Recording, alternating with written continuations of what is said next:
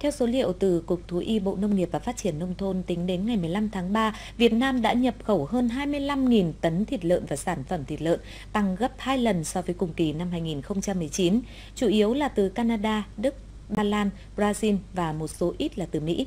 Mới đây, để góp phần bình ổn thị trường thịt lợn, Bộ Nông nghiệp và Phát triển Nông thôn đã trực tiếp kết nối tập đoàn Mirator của Nga để nhập khoảng 50.000 tấn thịt lợn của đơn vị này.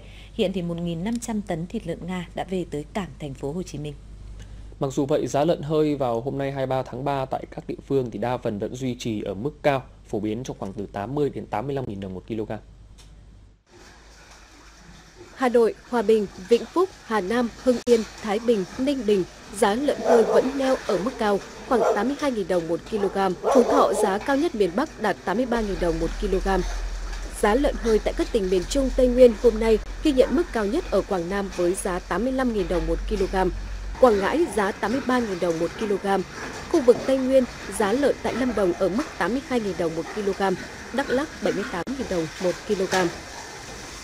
Giá lợn hơi hôm nay tại miền Nam đang có dấu hiệu giảm ở vài nơi. Vĩnh Long còn 74 đến 76 000 đồng một kg, thấp nhất vùng. Bình Phước, thành phố Hồ Chí Minh, Tây Ninh, Long An, Đồng Tháp quanh mốc 80 000 đồng một kg. Đồng Nai ở mức 81 000 đồng một kg. Tiền Giang, Cần Thơ và An Giang đang ở mức 82 đến 83 000 đồng một kg, ngang bằng miền Bắc.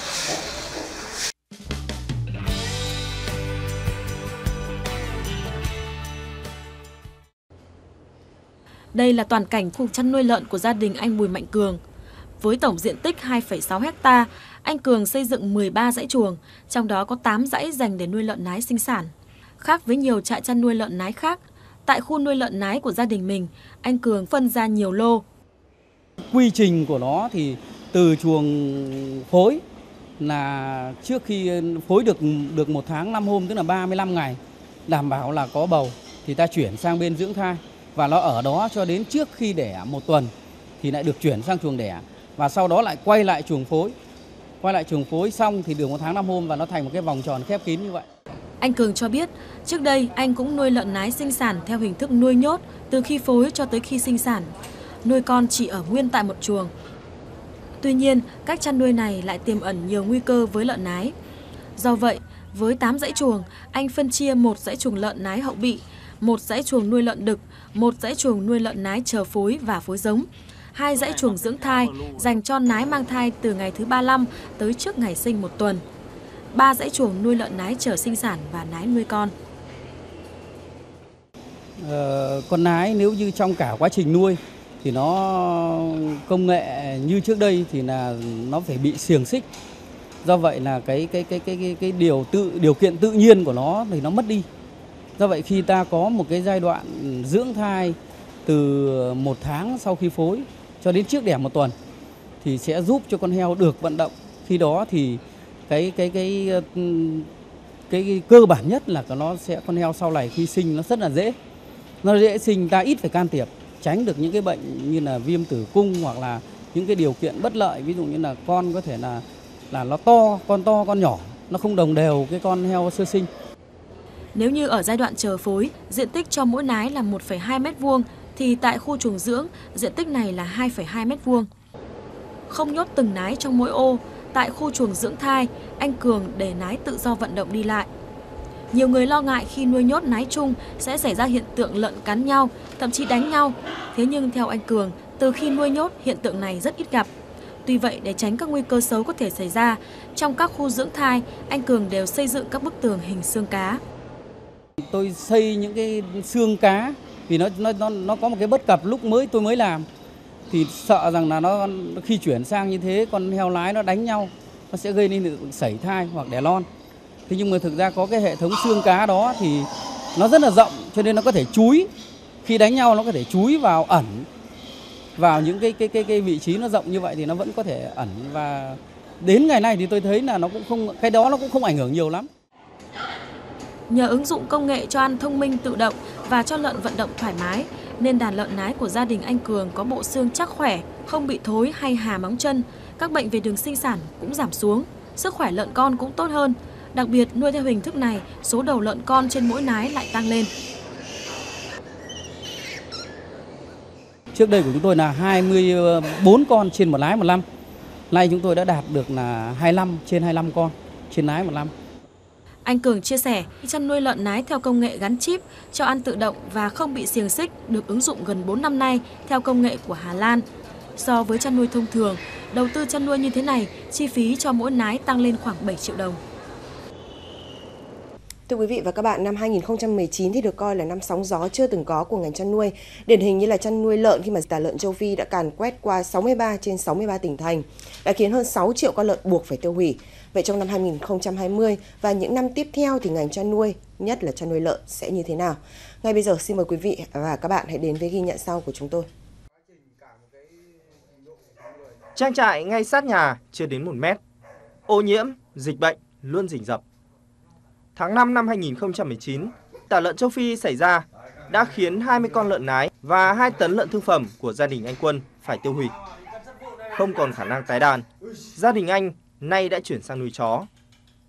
Trước thông tin luật chăn nuôi có hiệu lực từ đầu năm nay, anh Quân ủng hộ việc phải đăng ký mới được chăn nuôi và chăn nuôi phải xa khu dân cư. Thế nhưng, điều khó khăn nhất lúc này đó là vốn để tái đàn và địa phương quy định còn ngặt nghèo về diện tích chuyển đổi xây dựng trang trại phải từ 1.500 m2 trở lên, khiến gia đình anh khó có thể đáp ứng. Chúng tôi cũng không muốn là nuôi ở, ở các cái khu chuồng trại gần dân này đâu, mà sát nhà ở nó rất là ô nhiễm mà đồng chí ạ. Đấy nên là chúng tôi cũng rất là mong muốn là các đồng chí là ờ, các cấp các ngành tạo điều kiện cho chúng tôi.